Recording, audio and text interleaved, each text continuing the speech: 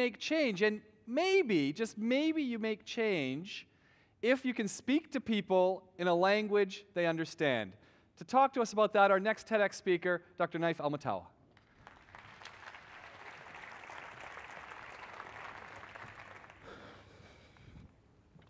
Bismillah ar-Rahman rahim Thank you very much uh, for the invitation. Uh, going to talk to you about the 99, but before that, a little story that happened this summer about speaking people's languages. I have five boys. My fourth is a Scooby Doo addict. Last year, uh, he got angry at me over dinner and called me a meddling kid.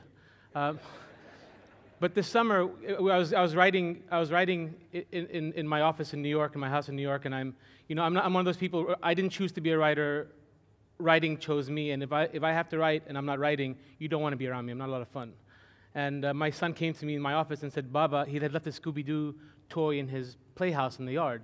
Can you come with me get the Scooby Doo toy? I said, uh, I gave him this look. I said, Rayan, later.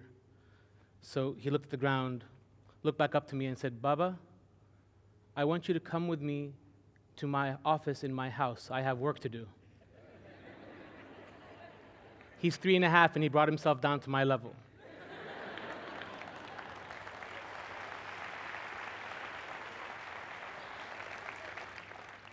the 99. I graduated from university in 1994, came back to Kuwait, and within a few months, somebody got fired from their job because of their religion. I was wondering what planet I had just landed on. Because to add insult to injury, the person that fired this man gave out leaflets to the community apologizing that had he known this guy's religion, he wouldn't have hired him to begin with. So I, I, I, was confused. I wrote about it in the press, you know, and it didn't really work for me. And so I wrote and illustrated what I thought was a book for adults, but UNESCO thought otherwise. Gave me an award for children's literature. Uh,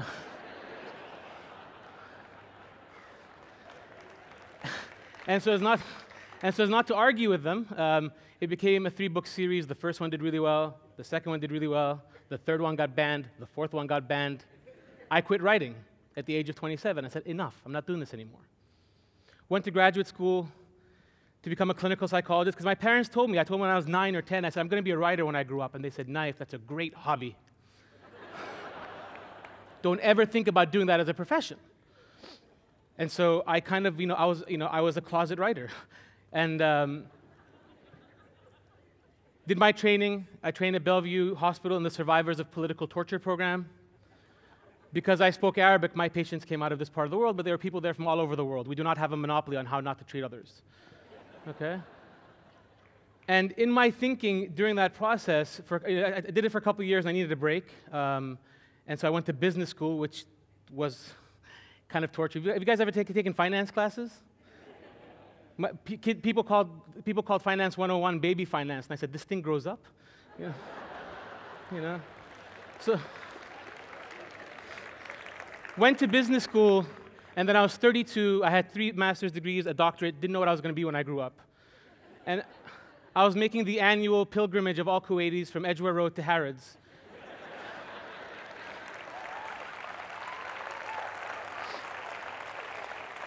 I was, I was with my mother and my sister, and, and, my sister turns to me. She says, "Now, if you remember you say you go back to writing after school?" And, and I just wanted to shut her up. I was going all these degrees. I'm going to go back to writing for kids. What, what, what's she thinking? You know? So I said, somewhat, for me to go back, it has to have the potential of Pokemon. Otherwise, this makes zero sense. right? I say that, she shuts up, and I start thinking. I said Pokemon. My next thought was there had been a fatwa issued against Pokemon in this region. My next thought was, my God, what has happened to Islam, and who's making these random decisions for me? My next thought was of Allah and how disappointed He must be. My next thought was that Allah had 99 attributes. And ironically, it brought me full circle back to Pokemon. I get out of the cab at Harrods. I turn to my sister. I said, What do you think of this? She loved it, and the rest is history. So I ran. I ran with it. I raised, within a few months, I, I written the business plan, wrote the concept, you know, the character Bible or the character guide, as we call it, um, and raised $7 million from 54 investors in eight countries. A million dollars came to me from my classmates in business school I have investors from Saudi and Lebanon and Kuwait and China and, and, Mexico. The reason for the diversity is the business school. But of all my accomplishments, the one I think that, that was the most challenging was I think I'm the only Gulf citizen that went to Beirut and actually came out with money.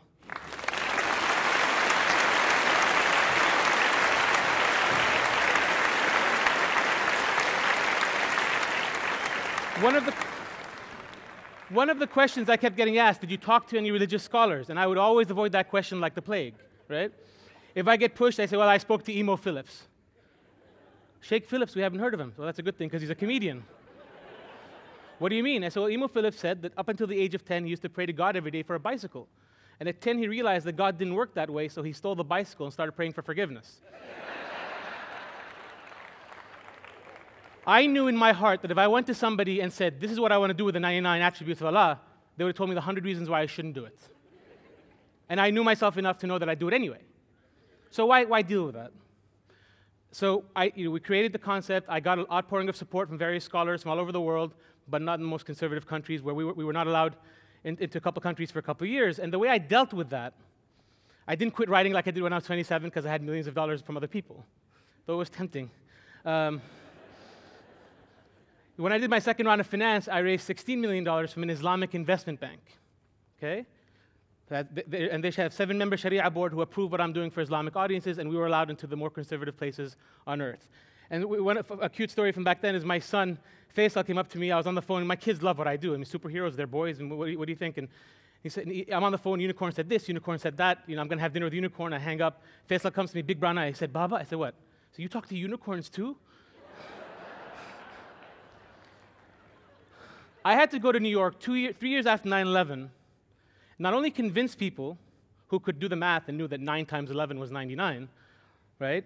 But I had to convince people that I wanted to create superheroes based on an Islamic archetype. Took a while, but I, I got some of the best names in the industry. People have written for X Men and Power Rangers and Spider Man to be part of this project. And, um, and basically, I told my investors, I tell them now, you know, the only person crazier than me was you. You know? But I was able to bring in these, these people to work together on this common goal. And, and the, the sell was this to the investors this, could, this would not, and could not, and will not be another made in fifth world country production. This was going to be Superman or wasn't worth my time or their money. Okay? So the concept, very simply, the, the 99 is based on 99 attributes of Allah. To boil down the concept, you, there's going to be a, there's going to be a premiere tonight of a, after I speak of a, set, of a trailer the actual animated series is being sold at MIP as we speak in Cannes. I'm going to show you what the animation is going to look like. But basically, the 99 ca- characters from the very beginning, I knew because I had been banned that, I was not gonna, that was not going to happen to me again. And if it did, Pokemon did plenty well without being allowed into this region. Right? So from the beginning, the intellectual property was registered under a company, the Kuwaiti company's other company in New York, from day one. Nobody could come after me. Number two, the characters are from 99 different countries. It wasn't just Arab heroes, right? Because once you get to Spain or Iran, no one cares, right? So the characters from the US and Mexico, they're from all over the world, okay? And basically, they're based on those. Somebody mentioned Dar al-Hikmah earlier in the talk, and actually, this whole, the whole, there's a story that in, in 1258, the Mongols invaded Baghdad, and the, books from Dar al-Hikmah were thrown in the Tigris River, and the Tigris changes color with ink. It's a story that kids grow up here with. I use that as a pivot, and I rewrote it. In my version, that knowledge was saved onto 99 stones and was scattered all over the world. But those books were not just Muslim books, because the caliph at the time had told his scholars, translate any book you get your hands into, and I'll give you its weight in gold. After a while, the advisor complained, said, Your Highness, the, the, the, the scholars are cheating. They're writing in big handwriting to take more gold. And he said, Let them be, because what they're giving our culture is worth a lot more than what we're giving them.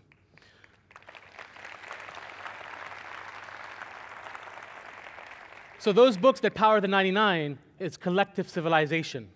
Okay? But of course, we had, we had, I'll take you through some of the characters real quick so I get to the animation. This is Jamet from Hungary. He's our technology character. Hadia from the UK. Uh, she's originally from Pakistan. She's able to find things. Jabbar from Saudi. Listen, I'm from Kuwait. We're a small country, so.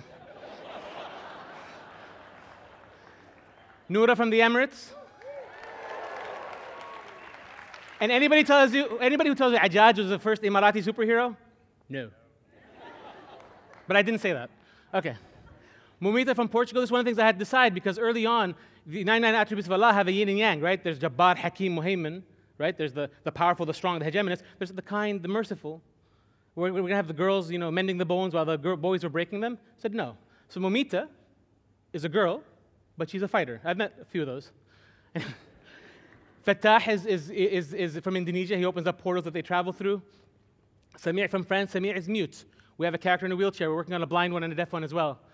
Mujibo is our first hijab wearing character. We're going to have four or five that do that.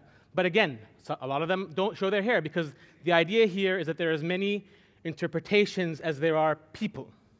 And this idea that there's one way and the rest, you know, are against us is what, what has us in the hole we're in today. Batina. Uh, I came up to my wife one day and said, uh, I created a character after you. She said, Show me. I showed her. She said, That's not me. I said, I said, Look at the eyes.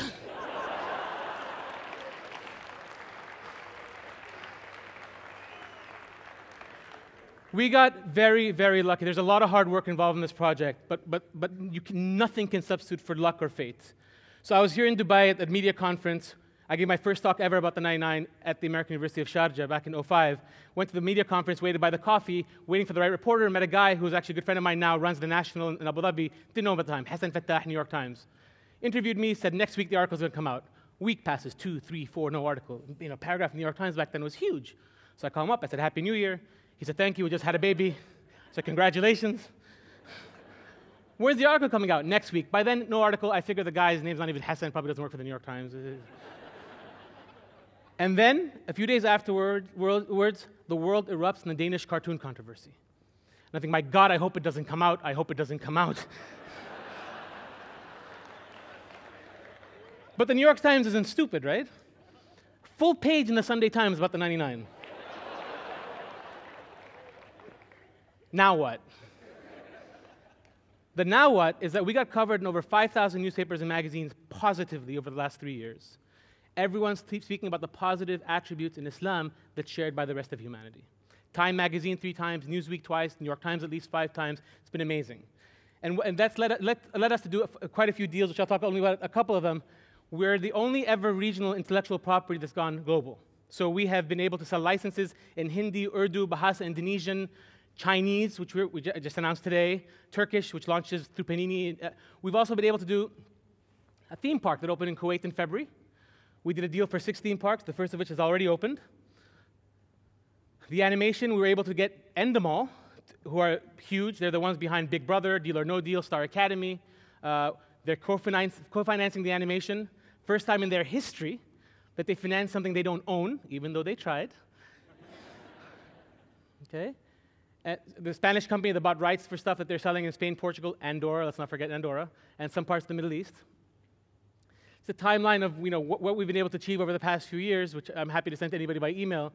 But basically, how do you know when you sell your investors something as lofty as this cannot be another made in fifth world country production? It's got to be Superman. How do you know when you've achieved that? You know when DC Comics announces that in 2010 there will be a series where Batman, Superman, Wonder Woman are going to be working with the 99 towards common goals.